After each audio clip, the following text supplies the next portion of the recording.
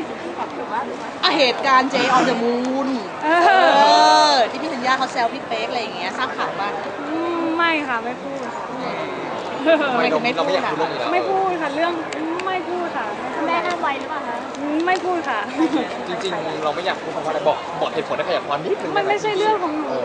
เลยค่ะ มันเป็นเรื่องของคนอื่นฟังแล้วรู้สึกยังไงบ้างอืมไม่พูดค่ะ แสดงว่าแต่ว่าดีใจไหมคะอย่างน้อยๆเขาก็พูดแบบว่าเอ่อเรื่องหนังไม่ได้ไปดูด้วยอะไรอย่างเงี้ยฮะพี่ธัญญาพูดแบบว่าหนูไม่ได้ก็ไม่ไม่ไม่ใช่เรื่องของหนูอะหนูไม่พูดอะไรถึงคนอื่นเลยดีกว่าค่ะ เพราะว่าเรื่องต่างคนต่างอยู่ดีกว่าค่ะ เหมือนกับเขาก็เคลียร์แทนเราว่าเออไม่ได้ไปดูให้อะไรอย่างเงี้ยไม่รู้ค่ะมัน no comment แล้วล่าสุดฝ่ายหนึ่งเขาพูดว่าสามารถร่วมงานกับเราได้ เออ ก็คืองานรับคือคุณแม่รับอยู่แล้วค่ะ หนูมีหน้าที่ทำงาน แต่ถ้าไปถ้าไปจริงๆติดต่อจริงเราจะโอเคไหมไม่รู้อนาคตค่ะแต่ว่าเขาเปิดทางอยู่นะที่เราจริงๆค่ะ สมมติถ้าต้องเจอกันจริงๆอะไม่รู้จริงๆค่ะ คือคืออย่าอย่ามันอย่าพูดเลยดีกว่าเรื่องนี้ เอาเรื่องอนาคตดีกว่าเอาจริงในส่วนตัวเราพร้อมไหมครับ ถ้าสมมติในอนาคตจะร่วมงานกันหนู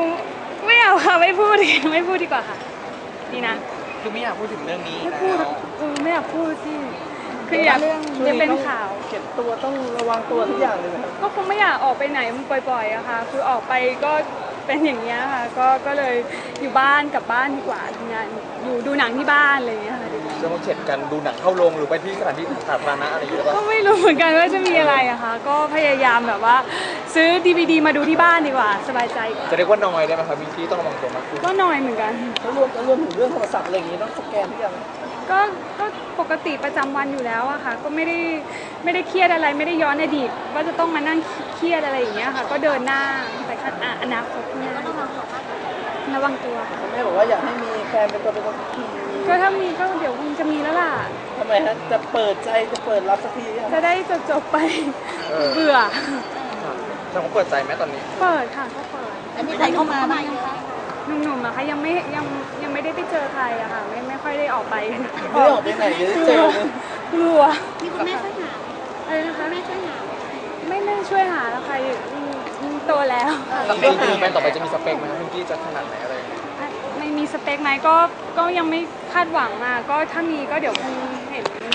เองถ่ายรูปกันละกันเลยก็หาโอกาสยากนะเพราะว่าแบบเราไม่ค่อยได้ไปไหนไม่ค่อยได้เจอใครเลยก็เหนื่อยไม่รู้จะออกไปไหนออกไปก็เป็นเนี่ยแหละค่ะก็อยู่บ้านดีกว่าเดี๋ยวก็คงมีดีๆเองมีโซเชียลมาแรงนะมีใครมาแชทลงแชทไลน์กับเราบ้างไหม